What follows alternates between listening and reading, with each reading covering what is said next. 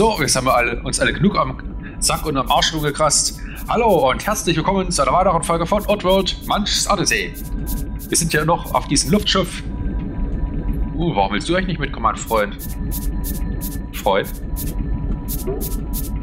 Ich hatte ja letzte Folge wieder mal ein bisschen gemeckert, weil die Steuerung von Manch, wenn ich hier das mit einem Grad betätigen wollte, weil der eine Wachmann hat mich angegriffen und naja, wenn der dich angreift, bist du ja nicht mehr in der Gradsteuerung und war ein bisschen doof gewesen. Also das war, äh, musstest du halt wirklich genau treffen, dass du die Döde getroffen hast, dass du den hochziehen konntest und dann in den Müllschlocker. Ah gut, wir haben es ja geschafft. Wir haben ja unsere ganzen Kollegen. Okay. Sagen jetzt Hallo und öffnet die Tür.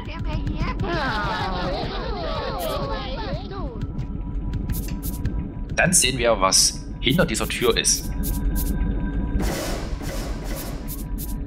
Was komisch ist, in Teil 1 und 2 konntest du teilweise selber noch. Na komm, macht jetzt. Da konntest du dann wenigstens noch selber die Schalter betätigen, teilweise mit. Und halt mit den anderen.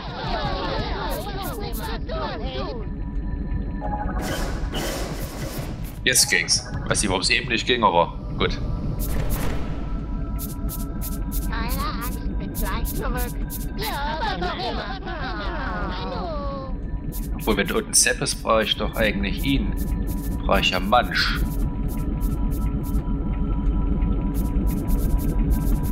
Sperrgebiet. Ah, das sind noch zwei von diesen Typen. Ah, das sind diese zwei Manager. Da fehlt ja doch ein Manager. Da hinten ist der Ausgang. Das sind zwei Manager. Na gut, wenn hier dieses Sepp ist, entweder ich müsste, wie gesagt, hier mit allen angreifen. Meine, wenn ich mit allen angreife, müsste ich ja theoretisch. Ihr bleibt auch hier.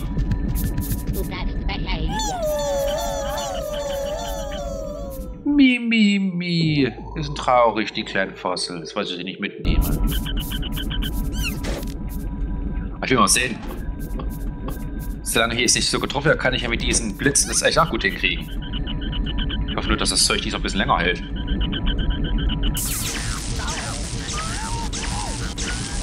Also jetzt geht's zum Beispiel. Die haben scheinbar auch keine Fernkampfwaffe, sondern wollen mich nur im Nahkampf besiegen. Das geht. Also das ging jetzt eigentlich ziemlich einfach. So, nochmal kontrollieren.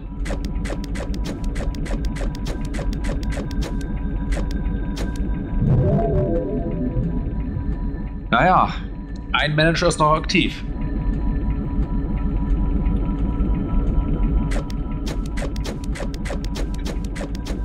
Ja, doch eben eine Kampfsteuerung irgendwo. Abspeichern. Quicksave. Ach, da muss ich dein Aim hochbringen, da ist der Hebel, dass ich dir die Tür aufmachen kann.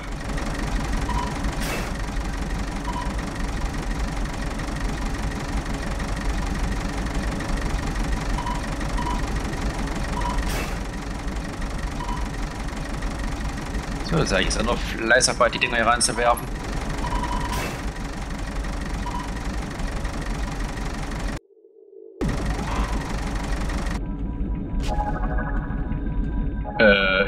Das sein? Ich habe jetzt was runterfallen. Ja, kann sein, dass jetzt eins der Dinger runtergefallen ist? Dass wenn ich das hier verlasse, dass die runterfallen? Also dass der gerade die nicht mehr hält? Habe ich immer das Gefühl. Ah stillgelegt neu. Ja.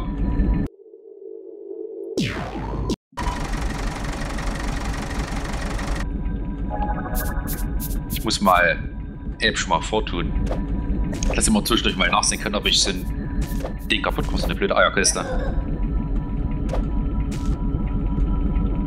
So, Eierkiste. Stillgelegt, null.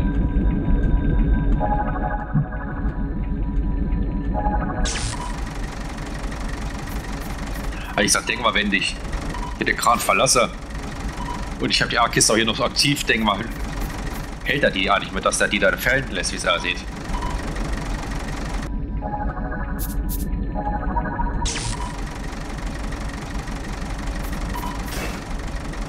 Aber ich sehe die gar nicht schaden können, die Kerle da unten. Dann fliegt wieder so ein Ding rum.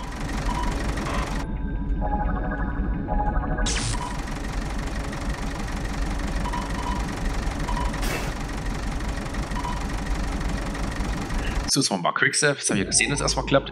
Versuch erstmal die Dinger jetzt so reinzuwerfen. Das müsste ich ja eigentlich so viel schaffen, solange immer dieses Geräusch kommt, dieses wie so ein heiliges Geräusch. Müsste ich es ja eigentlich schaffen.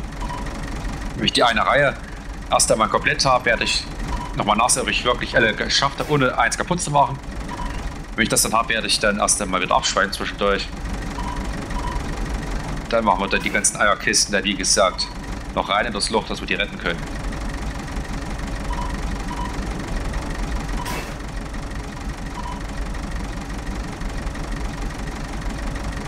Und rein damit.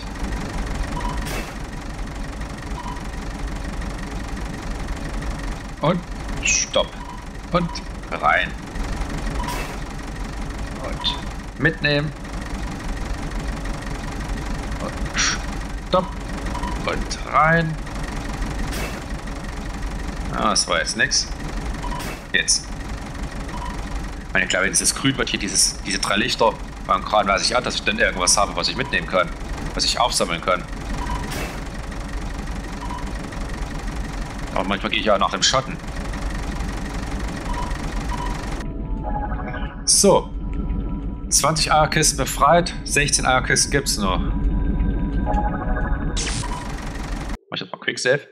Habe ich ja versprochen. Und dann diesen ganzen Quatsch hier nicht mehr machen. Noch einmal machen müssen, dieses ganze Prozedere hier. Und jetzt, wenn den verschiedenen Enden ist, Teil 1 und 2 wisst ihr ja, gab es ja auch verschiedene Enden. Zum Beispiel Teil 1 gab es ja das Ende, also gutes oder böses Ende. Wobei ich bin mir jetzt gar nicht mehr sicher, gab es glaube ich sogar drei Enden, oder? Es gab sogar, glaube ich, gut, böse, neutral, ich bin mir jetzt gar nicht mehr sicher. Wobei ich dachte, es gab glaube ich sogar, doch, es gab drei Enden. Das böse Ende, wenn du zu wenige gerettet hast oder gar keine gerettet hast, dann hat man dich in Rapture Farm dann mal sterben lassen. Dann hat dich halt keiner gerettet, du konntest zusehen. Und dann hat halt hier der Moloch, wie der heißt, hat der gewonnen. Und Rapture Farm hat weiter existiert. Und man hat es halt in die Luft gesprengt. Bei dem nicht so ganz guten Ende, glaube ich zumindest war es gewesen, da dann der Schamane die aber trotzdem überzeugen können, die anderen Mudakins oder Mudokons, dass man eben retten muss dann hast du halt, naja, Rapture Luft gesprengt, hast du halt nicht alle Grenzen und nur so zu viele. Hast aber dann zumindest welche gerettet. Neun Eierkisten noch, na gut, das geht ja noch. Hast aber wie gesagt zumindest einen Teil gerettet und naja, hast halt Rapture Farms zerstört. Mit gutem Ende, klar. Hast du alle gerettet. Und alle haben dich halt gefeiert. Ja, toll, ja. Und ja.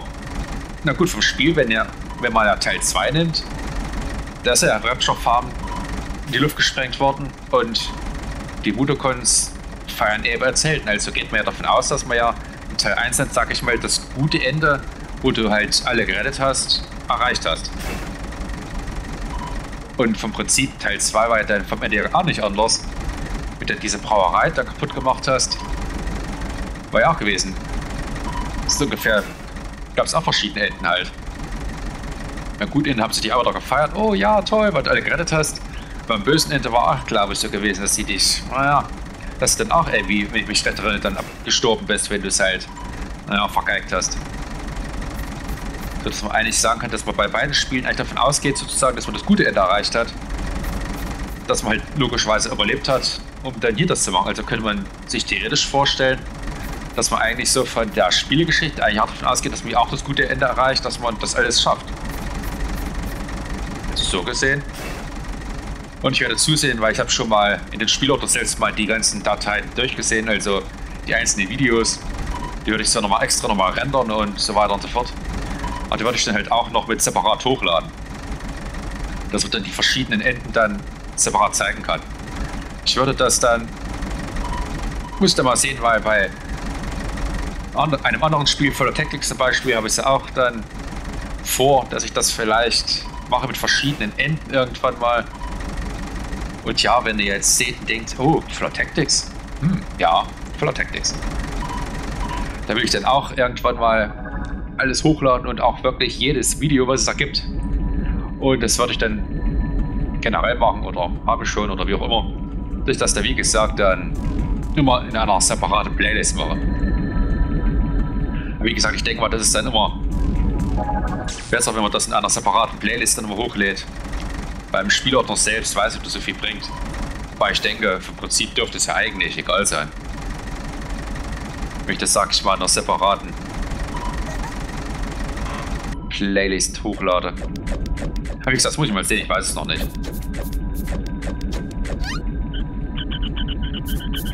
Ich gehe lieber noch ein bisschen zurück. Ich traue dem Spiel viel Schweinerei zu.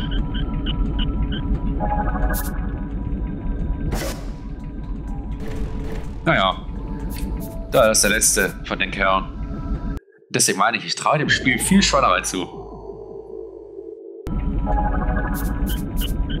War hier nochmal irgendwo? Ach doch, Holz, hier war doch noch hier so ein Ding. Das würde ich den nämlich auch gerne wegsteppen. Ansonsten mit der Übermacht an Fasels und Mudakis muss ich es eigentlich schaffen, den niederzumähen. Ich versuche trotzdem mal mit dem Blitz nochmal hier.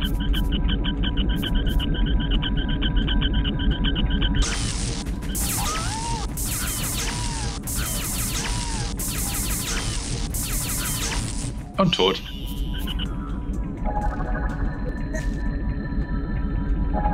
So, jetzt muss ich auch trotzdem noch mit Manch zurückfahren, damit er dann sagt zu dem Fass, es kommt mit. Weil ich kann den Fass leider nicht befehlen, dass er mitkommt. Das kann ich nur Manch machen. Von euch allen.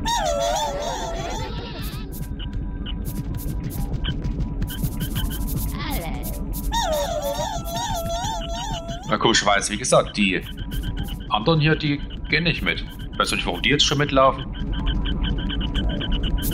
Die gehen jetzt schon zu äh, Na gut, warum auch nicht. Ich warte, dass noch bis die Fossils angelaufen kommen. Ange... Äh, angelaufen, nicht angehüpft. Na, das dauert aber ewig, hier die mal ankommen. Ich finde die Fossils sehr wie süß.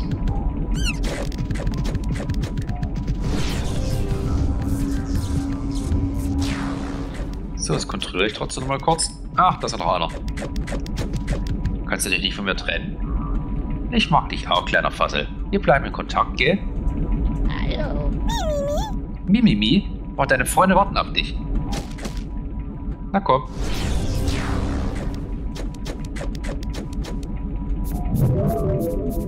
So, mal sehen. Manager sind alle tot, Sicherheitsdienste sind alle tot, Scrubs alle am Leben, Eierkisten, alle am Leben. Fassels sind schon alle gerettet und die Eierkisten auch. Fehlen nur noch die 14 Squabs.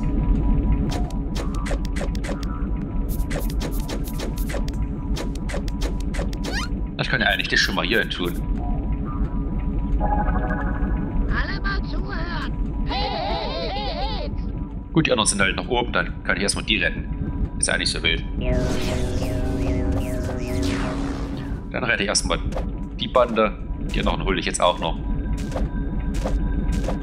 Wie gesagt, ich lade immer eigentlich ganz gerne auch solche einzelnen Videos nochmal hoch, solche einzelnen Zwischensequenzen oder verschiedenen Enden, weil ich mag das auch gerne, dass ich mir die ansehe. Beispiel hatte ich mir bei Outlaw World 1 und 2 auch dann alle Enden angesehen und ja, weil ich das halt, wie gesagt, gerne sehen wollte. Wissen wollte, gut, was ist das gute Ende, was ist das böse Ende, was ist jenes Ende. Ich mag das auch immer ganz gerne sehen. So, euch schicke ich auch noch nach Hause. Ach, da ist noch einer. Bist du auch mein Freund wie der Fassel eben? Wie geht's? Hey, das ist Abe. Das hatte meine Frage nicht beantwortet, mein Freund. Ist? Ganz gut, ganz gut. Ich rette dich jetzt. Grüß die anderen von mir.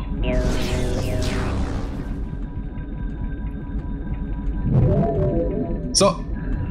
Ja, passt. Nichts ist mehr aktiv, nur die Gegner sind stillgelegt, die anderen sind alle befreit. Gut, dann können wir die Mission beenden.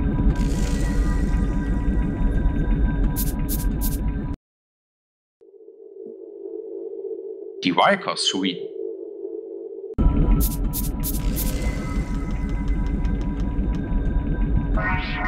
Okay, Abe, du bist dicht dran. Wirklich dicht. Ich hoffe, es stört dich nicht, aber Manch hatte noch was Persönliches zu erledigen. Mach dir keine Sorgen, er wird wieder zu dir stoßen, sobald du näher bei der Ladezone bist. Ach ja, und wenn du die Scrubs alle zusammenbekommst, dann habe ich auch einen echten Bonus für dich. Viel Spaß! Bonus. Ja, Bonus mache ich doch immer gerne. Was haben wir hier unten eigentlich? Wieder diese Wildcast-Typen. Wachen.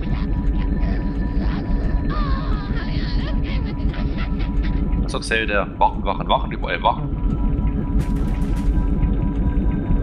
Und da hinten steht da unten auf dem Boden, das kann ich gar nicht lesen so richtig. Rikers Labors, ah ja.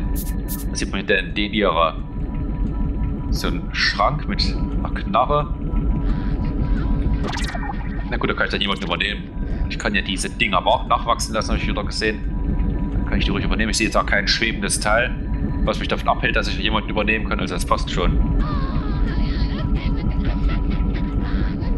Ich sammle die Dinger ein und dann werde ich mal ein paar von den Dingen nachwachsen lassen, dass ich wieder eine kleine Sammlung habe hier. Jetzt gehört wieder ein mir die Welt irgendwo. Ich mach mal auf 30. Gut, wenn er sagt, ich sind im Ziel ganz nah, wird es auch nicht mehr viel sein. Als dieser Folge werde ich das Ganze wahrscheinlich nicht mehr schaffen. Aber vielleicht in der nächsten Folge könnte ich mir vorstellen, dass wir dann vielleicht äh, es schaffen, dass dann das Spiel am Ende ist, die Let's Play-Reihe dadurch dann.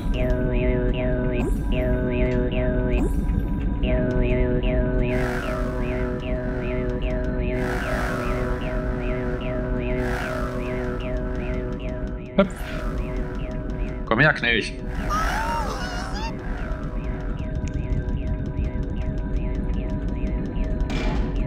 Na gut, aber schön.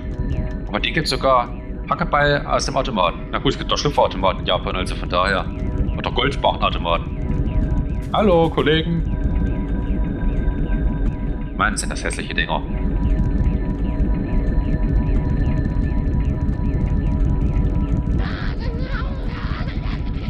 Obwohl, hier gibt's eine Knarre. Ich nehme eine Knarre. Hier ist einer, wird wahrscheinlich überall einen Rahmen mit einer drin hocken. Wo ist man da hin? Ach, das ist doch hier dieser, den wir in diesen Labors auch schon mal gehabt haben, den wir dann mit Mensch gestört haben. Die aber keinen wirklich getötet haben, sondern eigentlich nur bewusstlos geschossen haben. Diese Beruhigungsspots oder wie die Dinger heißen.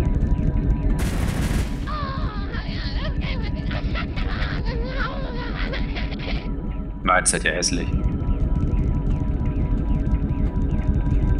Auf die ich ab und noch Sachen haben, wenn man mit denen spricht. Aber schnell sind die. Kann man ja noch sagen. Die sind wirklich echt, flink, echt flink unterwegs, die Kerlchen hier.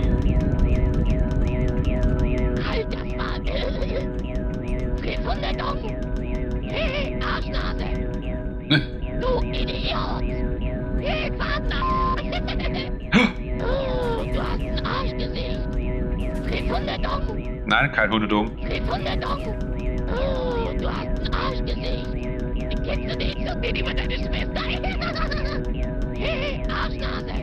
Hey, Arschnase. Kennst du nicht so wenig über deine Schwester?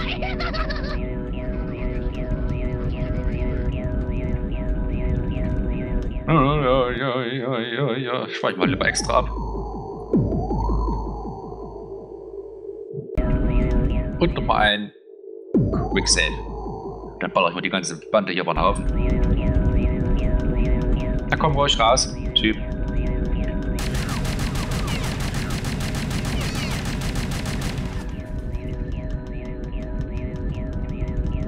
Ich möchte nicht aus Versehen einen abgeknallt haben von den Leuten hier.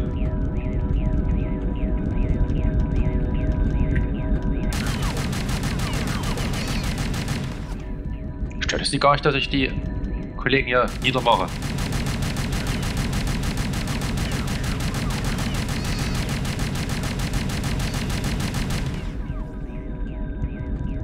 ein paar sind schon niedergemäht. Wie viele gibt es denn noch von denen? Den einer. Ja, der Knarr ist schon nicht schlecht. Also vom optischen muss ich sagen, gefällt mir die Waffe, die Sticks immer genommen haben, was die ganz groß war, die fetten Kerle immer genommen haben, die Krise Knarr, die gefällt mir aber optisch gesehen trotzdem besser. Das sieht für mich aus wie so eine Spritze aus hier. Hier, das sieht für mich eher wie so eine Spritze aus. Das war auch okay, die Waffe. Ich glaube, das war's, wie es aussieht. Macht euch weg. Ach, ich bin nicht hergekommen.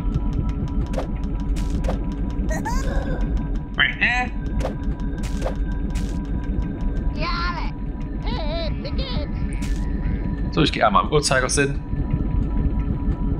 Na gut, ja, gegen Uhrzeigersinn, aber ihr wisst schon, was ich meine. Ich gehe einmal von der einen Seite zur anderen hin. Gehe in den Raum rein und sehe mal noch, wer da ist. Ich sag lieber einfach Hallo, könnte ja sein, dass einer drin ist. Okay. So, drei habe ich schon. Hallo, Jungs. Ich werde eine Armee aus Scrubs ausbilden. Okay, hör zu. Aber da lebt ja noch so Dödel. Au. Au.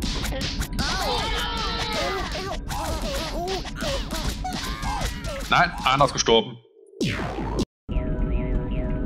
Oh, ich habe da nicht gespeichert, als ich das gemacht habe. Oh, ich habe da nicht gespeichert. Als ich deine übersehen habe.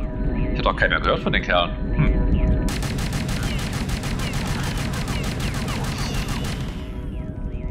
Gut, dann knall ich die nochmal über den Hafen hier. Guck mir nicht so an, du Vollpfosten. Muss doch nochmal laden, nicht, dass ich hier doch einen aus Versehen abgeknallt habe. Ich habe hier nämlich keine Tafel, wo ich sehe, wie viele gibt es zu retten und sind schon welche gestorben. Das finde ich ein bisschen doof. Den versuche ich lieber hier von außen hier anzugreifen. Ist vielleicht besser.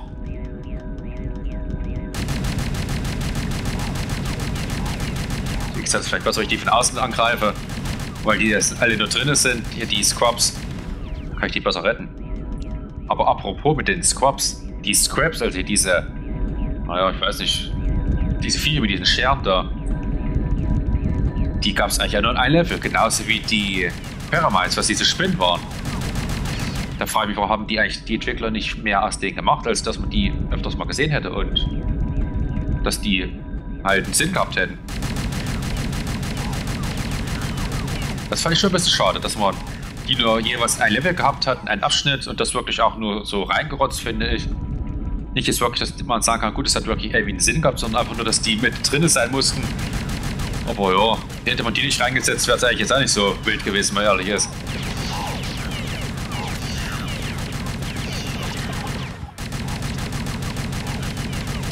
Das fand ich dann schön ein bisschen schade, auch dass es diese Flug-Slicks nicht mehr gab.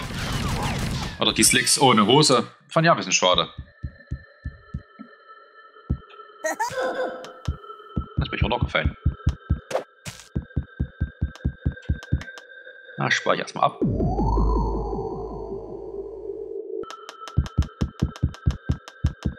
Ich glaube, das fand ich dann schon ein bisschen schade.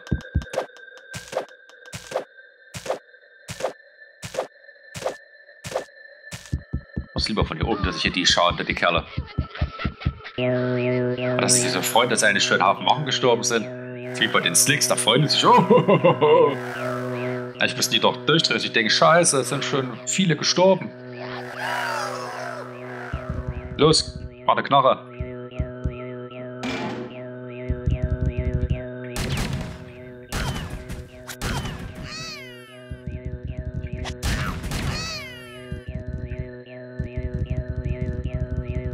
Heißt echt, ich habe jetzt wirklich alle von denen. Ich hoffe es zumindest mal. Hui.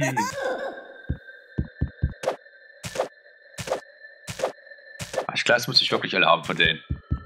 Ah, ich mach noch mal einen Quicksave. Alle mal zuhören. Hey, wie geht's? Ganz gut, ganz gut.